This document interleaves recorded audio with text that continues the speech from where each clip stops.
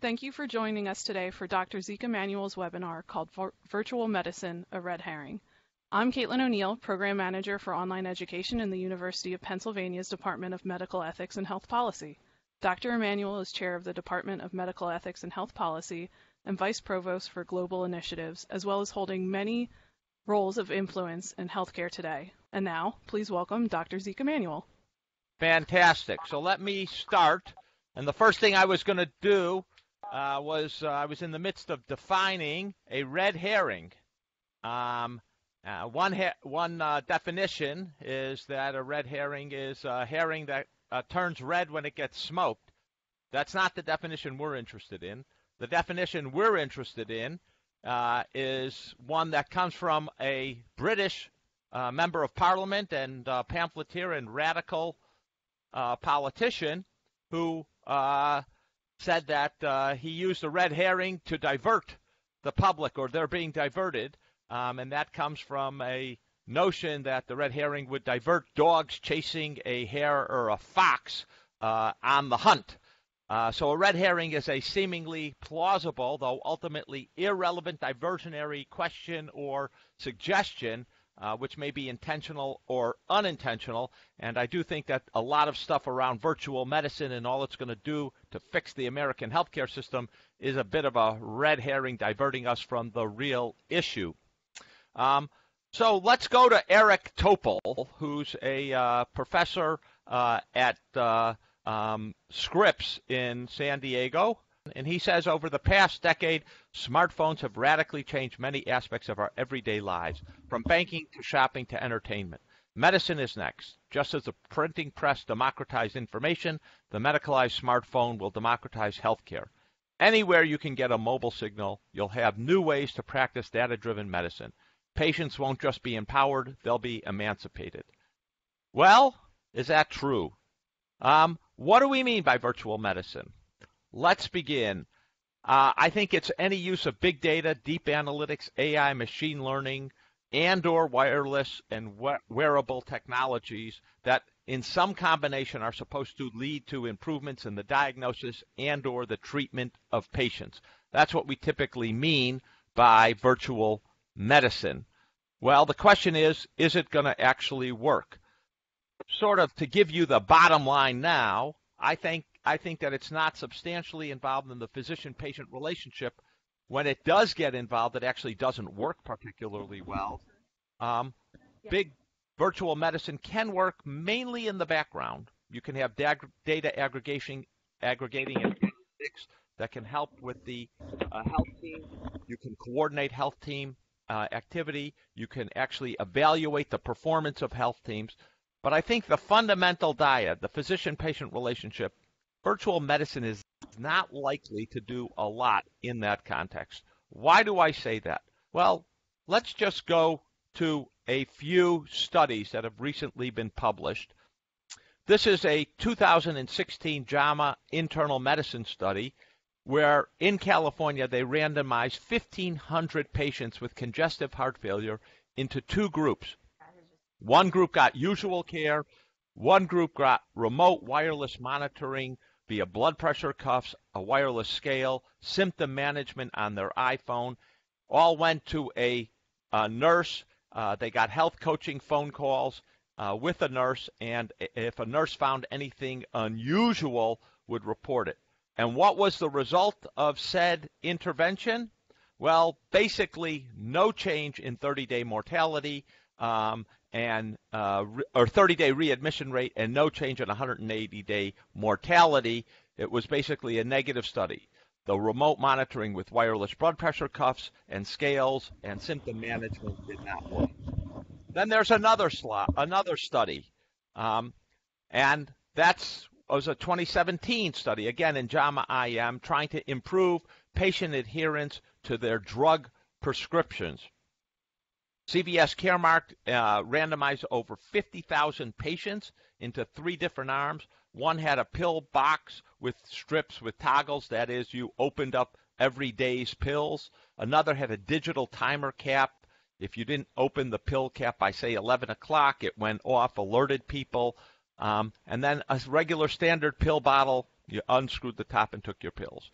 Uh, there was no difference in uh, medication adherence uh, in the three arms.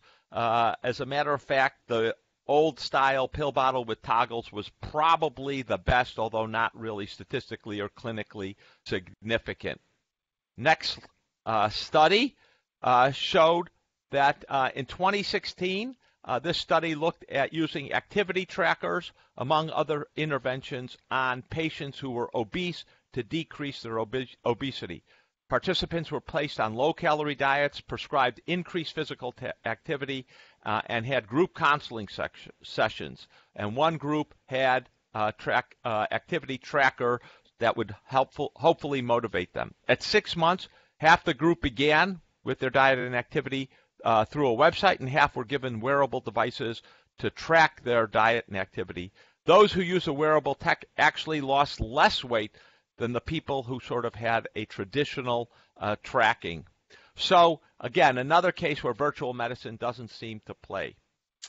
And finally, there's a 2016 Lancet study investigated whether the use of activity trackers alone or in with combination with various monetary incentives led young people 18 to 34 to increase their physical activity or improve other health outcomes. The results shown on the next slide were that uh, uh, after 12 months, there was no evidence of improvement in health outcomes. Those with financial incentives did improve their physical activity, but when you took away the financial incentive but left the Fitbit, uh, there was no increase in physical activity. In fact, uh, this was another case of where the actual change in behavior was because of incentives, not because of the wireless Fitbit device. So, what do we learn from this? Uh, as one of the study leaders said, these devices have some really cool tech, but how do you use them in a way that helps people? Overall, it doesn't look like assigning someone wearable technology will make that big of a health difference. Um, and I think that is the bottom line of mo- almost every study that we've had now. You cannot get people to either take their medication, uh, change their exercise, uh, actually uh, prevent hospital readmissions or mortality with uh, congestive heart failure. There are very few studies done in a rigorous, peer reviewed way that show any change by simply using wireless devices or virtual medicine. Why has virtual medicine failed? Well, I think the reason is that the big problem facing medical care is behavior change of physicians and patients. Virtual medicine doesn't lead to behavior change by itself. Remember, in the tech world, what you really want to do with all that data analytics, that AI, that machine learning, all of these wireless things is sell people things, right? You want to crunch the numbers, find out what they like, and try to sell them. In medicine, you have a bigger challenge, which is we want to change their behaviors. We want to make them to eat, make people eat differently, exercise, take their pills, etc. That's harder, and that's not like advertising. I think virtual medicine is never going to replace a physician-patient relationship. It might supplement it, and it works best in the background, informing and in, in, improving physician actions. We have seen some places where it works. Um, Take Kaiser Mid Atlantic. It's a pioneer of virtual medicine, um, and yet only a small fraction of its phys- of its physician visits are conducted by video, uh, about one percent. Uh, and so I think it can supplement but not replace face-to-face clinician-patient interactions. And by the way, it uh, positively impacts convenience more than actually saving money in the case of Kaiser. One place where it has worked is when you can actually use it in a sort of low tech, not high tech way.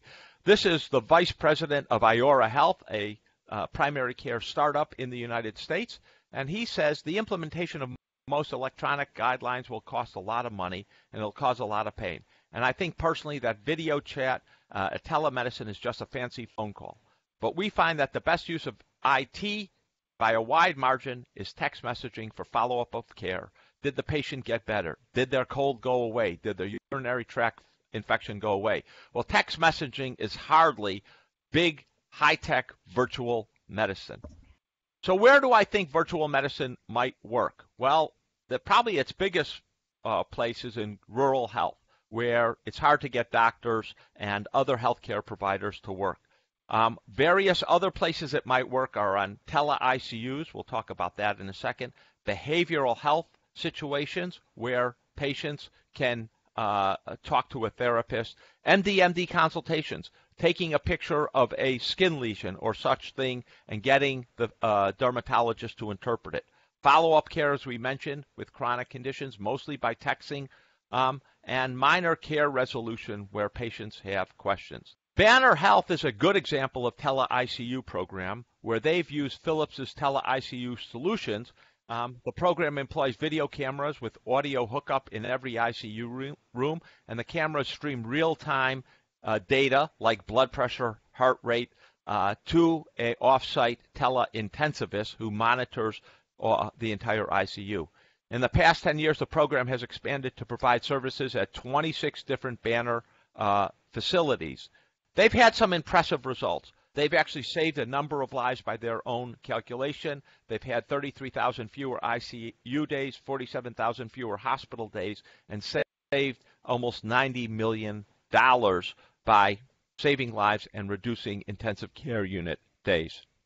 Another place I think you might see it uh, is in mental illness. Lots of people in the United States have depression, anxiety disorder, um, and uh, we know that we have an undersupply of psychiatrists as well as other behavioral health specialists. There are only 28,000 psychiatrists in the United States for 325 million people, only about 100,000 uh, clinical health psychologists. So we need people uh, to do uh, behavioral health. There are companies in this space that are trying this. Quartet Health, a group with which I'm affiliated, has a virtual collaborative care model where technology has been used to diagnose patients. They give them surveys uh, and treat patients with uh, uh, comorbid health issues. 40 to 50 percent of quartet patients are referred to a behavioral health specialist. They're seen within 12, 10 to 14 days as opposed to two or three months in the usual case. And those with more urgent health problems are seen more rapidly.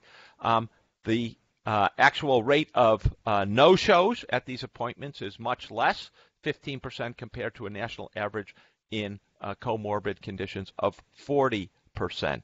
Uh, so this is a case of where uh, online connecting between doctors and patients may work, but it's connecting. Some of the therapy is online, but a lot of the therapy is in person. Bob Wachter, who's chairman of medicine at UCSF, has written, I think, very elegantly about virtual medicine. And he says the simple narrative of our age that computers improve the performance of every industry they touch turns out to have been magical thinking when it comes to healthcare. In our sliver of the world, we're learning computers make some things better, some things worse, but they do change everything. And I think the idea of heavily investing in virtual medicine on the notion that it's really going to radically transform healthcare is probably a mistake. We should focus more on uh, computers helping doctors get information to manage patients, unless I'm putting computers and IT and uh, AI in between doctors and patients. So that's all I have. Uh, I want to remind people that we have a uh, uh courses uh, available for people that go into these topics more in depth. I'll be teaching a course on transforming uh, the American healthcare system and how we can actually use different techniques for it soon, beginning on June 1st. but if you have questions, please ask them now. Um, so one question is, how do you measure effectiveness and cost? Uh, well, you can measure effectiveness by, uh, for example, um, how do you uh, change patient behavior? Uh, as I mentioned in one of those studies in congestive heart failure, by giving people wireless technologies, wireless blood pressure cuffs, wireless uh, scales, do we actually change their health status do we change their 30-day readmission rate? Do we, we change their six-month mortality rate with congestive heart failure? That is a sort of traditional uh, endpoint, uh, but we haven't been able to uh, achieve that uh, at all. Um, a second measure might be cost savings. If we substitute online interactions between the doctor and patient, do we actually reduce the number of in-person visits and does it reduce the total cost of care? So far, we haven't seen that. In the case of tele ICUs, by reducing the number of hospital days patients spend in the intensive care unit and in the hospital, you can actually demonstrate some cost savings. So those are some of the more traditional methods by which you might measure the outcome of uh, uh, virtual medicine interventions. So one, I think, important point that I would emphasize now is the importance of trying to use uh, telemedicine in the context of um, rural health. Uh, no country, not Australia, not Canada, not Norway, not the United States, has really solved the problem of getting more physicians, more healthcare professionals in rural areas. And telemedicine, by connecting rural clinics or rural doctors, especially towards uh, specialist care, uh, can help. It's a way of getting uh, specialist consultations in the area uh, where there aren't a lot of specialists. Um, and I think this is probably its biggest and most effective interaction, and that's because of a dearth of doctors. Does forced patient involvement requiring a patient response improve adherence? I don't know that we force patient involvement. After all, if patients uh, don't text you back or don't take an action, uh, it's unclear what the consequences, the negative consequences, are going to be uh, for the patient. You wouldn't want to say lock the pill bottle so they couldn't get the pills if uh, they didn't respond to some kind of question. Uh, it's not clear that uh, you can actually force patients uh, to do certain things like get on the scale or take their blood pressure. So exactly uh, what it means to force patient responses in this context is a bit unclear to me.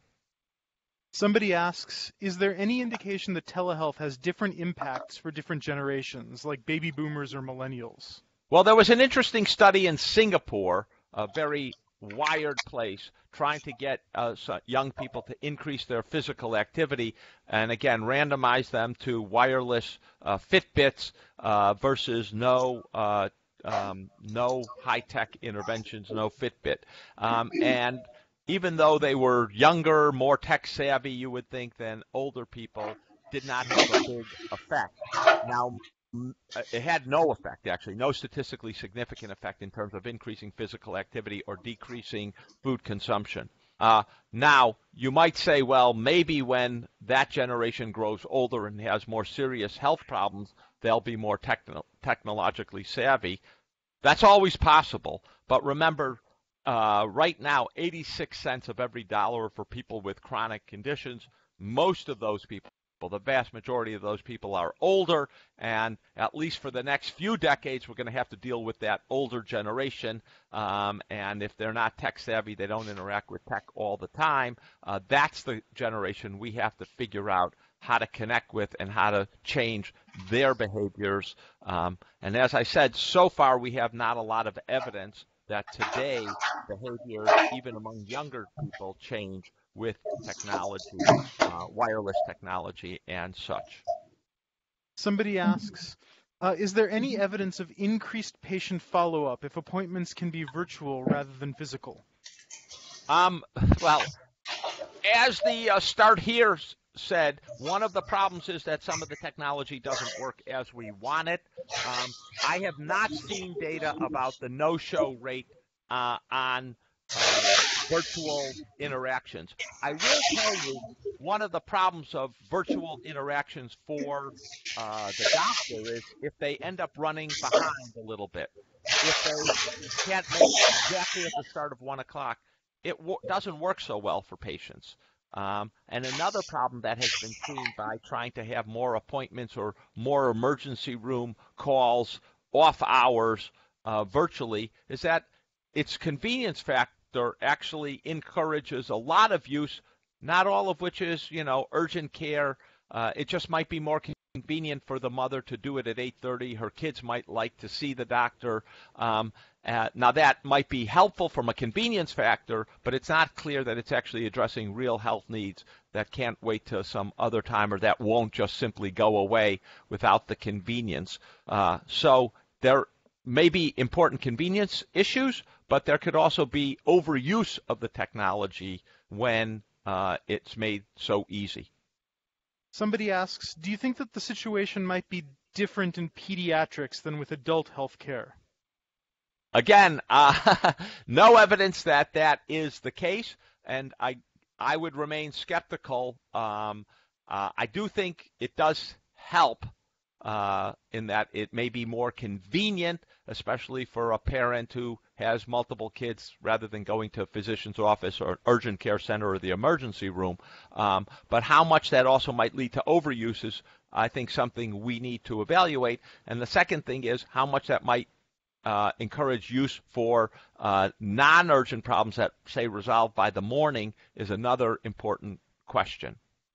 Uh, somebody asks, is there evidence of increased patient follow-up if impo- appointments can be virtual rather than physical? Again, I have never seen uh, uh, a consistent drop. I, as I mentioned in the uh, quartet with behavioral health, uh, using online connection with the patient, online scheduling, um, the no-show rate uh, for in for in-person interaction with the behavioral health specialist has dropped from 40% to 15%. But there's a lot of support that goes into that, uh, such as reminders and other things, which mostly are not very high tech. They tend to be, you know, text messaging to a telephone. Uh, you don't need lots of virtual medicine for that text messaging. Um, so I do think we need to sort of differentiate using simple stuff like text messaging from more complicated um, uh, artificial intelligence, machine learning, uh, wearables, and wireless tech. Um, again, uh, if it if it's all text messaging, getting you, reminding you of the appointment, getting you a Uber or Lyft, that's hardly high tech virtual medicine. Uh, are there any current or ongoing studies about virtual medicine, and what's the level of interest or funding for it? Um, I would say that there's a substantial amount of uh, um, funding for various different uh, virtual medicine interactions. Uh, as you might imagine, a lot of the venture capitalists who've grown up around Silicon Valley and think tech solves a lot of things have heavily invested in this space. Some are trying different uh, interactions uh, via PBMs to try to get patients to renew their medications, ask questions about side effects um, via uh, uh, uh and have chatbots interact with patients to get, provide them information um, as just one example. Uh, I do think this is a case of where there remains a lot of interest, uh, but there have not been proven me- methods to actually solve problems. Another area where there turns out to be substantial interest is to try to use uh, some information or, or, some platforms to get patients information about cheaper uh, facilities to use, cheaper labs to go to, cheaper imaging facilities uh, as an effort to save time and to connect with patients at the point of decision making. Uh, I think these are all promising, but again, the difference between promising and actually effective and cost reducing or quality improving is a big gap, and I think we need a lot more rigorous study. Um, and I don't think just around the corner is going to be a big virtual medicine solution to a problem. Um, and I would just um, remind you of, for example, you know, Apple has this great addition to its Apple Watch about detecting AFib, and it turns out not to be very uh, good at detecting AFib and should not be used for patients who have AFib uh, to monitor themselves. Uh, it's another case of where people thought there'd be a great intervention. You know, we could determine if patients are popping into AFib or not, and it turns out to be uh, uh, mostly uh, smoke and not a lot of real medicine intervention that is something we could rely on. Um, so that's why I entitled this talk Virtual Medicine a Red Herring. I think too much focus on this is taking us away from the key issues facing medicine, which are behavioral change, changing how patients and doctors actually behave, uh, whether it's exercise or diet or medication adherence or adherence to physical therapy. And that's a bigger challenge than is going to be solved just by aggregating data using more wireless or wearable technology. Thank you very much, and let me remind you, uh, you will be receiving a, a, uh, coupon if you want to take additional, more in-depth courses than just can be offered in a quick half-hour webinar.